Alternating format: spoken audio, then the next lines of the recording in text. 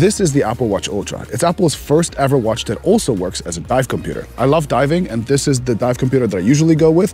It's, as you can see, a little bit more clunky than the Apple Watch. So when Apple decided to invite me to Hawaii to test it out for diving, but also for other scenarios like trail running and hiking, especially with the people that actually designed the product, I couldn't say no. So welcome to my thoughts on the Apple Watch Ultra.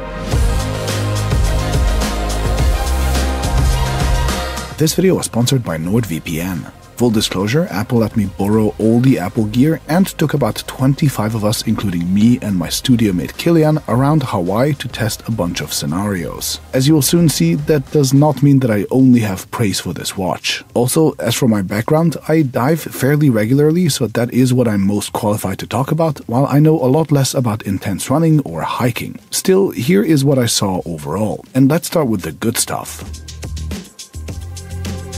As a casual hiker, I found hiking with the Apple Watch absolutely fantastic. The display is ridiculously bright at 2000 nits, so you can see it even in the brightest sun with sunglasses on, no problem. The titanium lip around the sapphire crystal display means that the watch will survive a few hits against rocks and stuff, and the battery is almost twice as big as it is on a regular Watch 8, so even with precision GPS and the brighter screen, you should still get through a long day on the trail. The GPS and the compass seemed really accurate, and the updated Compass app now lets any Apple Watch user add waypoints for important spots along the hike, like your starting point or where you parked your car, while also giving you a quickly readable line of your history so you can backtrack to return where you came from. And both worked pretty great in my testing. Now, Apple is particularly proud of their new dual band GPS tech and how it can accurately track you even in New York between all the tall buildings, so I tried that too. And yeah, it did sometimes take up to half a minute to lock onto a signal when between very tall buildings, but then it worked great from there. The huge screen allows for lots of shortcuts and complications on your watch face, and of course, the usual Apple activity tracking stuff works great overall here too. I checked at home in a gym with a fixed heart rate sensor, and the Apple Watch Ultra's own readings were pretty much spot on every time, no matter how the watch sat on my wrist. The so called Alpine Band is specifically made for hiking and climbing with a very secure locking mechanism, and as a hiking companion, this is overall a fantastic watch that makes me want to go outside more often.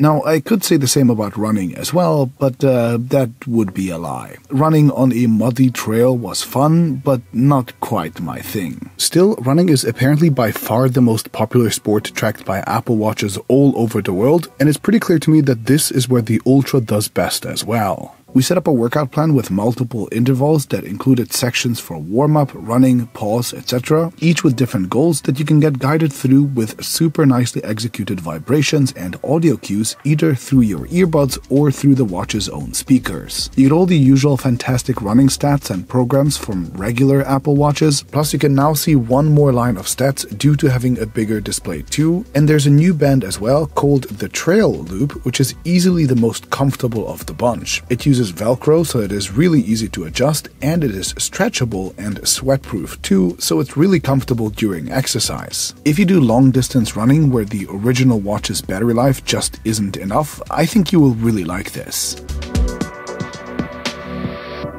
And if it sounds like I only have good things to say about the watch, well, we're now getting to the diving, which to me clearly felt like the least polished of the three experiences that we've had. Okay, since I assume most of my viewers aren't actually divers, maybe let's start with a crash course on what a dive computer actually is. A dive computer is a machine with some depth sensors that very accurately tracks how deep you dive and how much time you spend at each depth, and it then runs a very specific algorithm to determine how much longer you can stay there or how quickly you can come up again, for example. Messing up your depth or coming up too fast can quickly become lethal, so having a reliable dive computer is pretty much mandatory these days. The Apple Watch Ultra is rated for recreational diving only and will only show you your depth down to 40 meters. It is theoretically rated to survive pressure until 100, but the watch very clearly does not want you to use it for anything beyond 40, and it has no air integration like some of the more advanced competitors either, so this is a pretty basic dive computer. We did two dives with Apple, one to about 15 meters and the other to a bit past 20, and the watch performed very well in those. It was consistently about half a meter off from my Mares computer in depth, although I wouldn't be able to say which one was accurate, and otherwise the two agreed on pretty much everything, and the bright Apple display is ultra easy to read underwater, even in the dark. The UI is much more intuitive than that of most dive computers, while all the warnings are kind of idiot proof as well yellow for simple warnings, and red if you do something bad, all of which also vibrates with a really noticeable pattern. I really like that. You can use all buttons and even scroll through options with the digital crown at depth, which impressively all works underwater as well, and the dive band is surprisingly solid too and can even go over dry suits if you pick the longer version. Not only that, the watch also shows you your dive summary right after you come up with plenty of detail right away on the watch itself, and it of course syncs the whole dive log to your phone automatically. The two dives that I had were really nice, but still, I have two main problems with the Ultra 4 diving. First is that despite diving clearly being one of the main activities that Apple is marketing the watch for, they have not developed the software for diving themselves. Apple only makes a very simple depth app, which is cool for checking your depth and maybe going snorkeling, but is not remotely suitable for diving. For that, you will definitely need the third party app called Oceanic Plus and then you'll even have to get a paid subscription. I have never seen any device marketed as a dive computer that didn't just work out of the box, let alone one that costs 800 bucks and more. And while the app itself is pretty nice, it is far from perfect. For the sake of fairness, Oceanic was in a pre-release state when we tested it, but it did have a few bugs, like the app switching randomly between Metric and Imperial, or resetting my dive logs after saving them on my phone. Not quite confidence-inducing from a piece of software that's supposed to keep you alive. Also, needing a subscription is not just inconvenient, it's just straight up a bad idea. People usually dive from pretty remote locations with no internet, so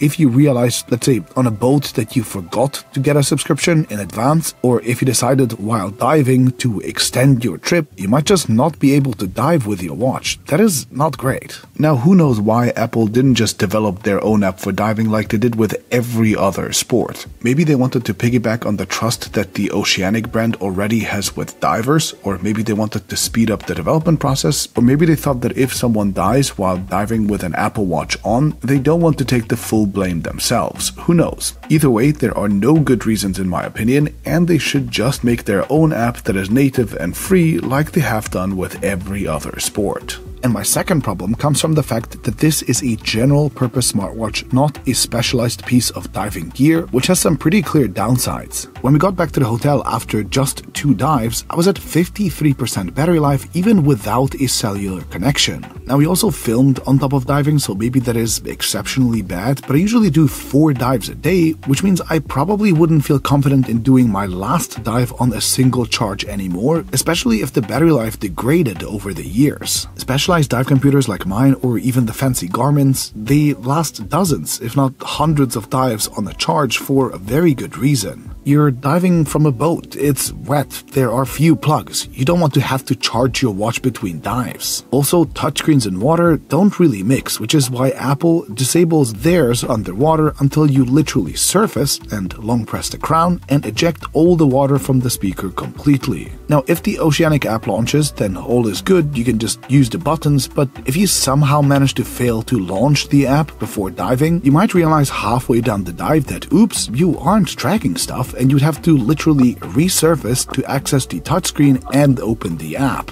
This hasn't happened to me during any of my real dives, but Autolaunch did fail a few times in a shallow pool for me, so I'm not 100% confident in this system. A dedicated dive computer can always be fully operated with buttons underwater for a good reason. Apple has added a single extra button in the form of the action button this time on the Ultra, but I think there should be even more. And finally, while I wasn't able to film this, I did manage to crash and reboot the watch a few times when I tried to screen record the Oceanic app. I know it is hardly a normal thing to do to screen record your watch while diving, and we are using pre release software, but still, this being just a general purpose smartwatch with the usual chaotic updates, where diving is just one of many, many priorities, well, that does make me more nervous about bugs and crashes than on the regular dive computer.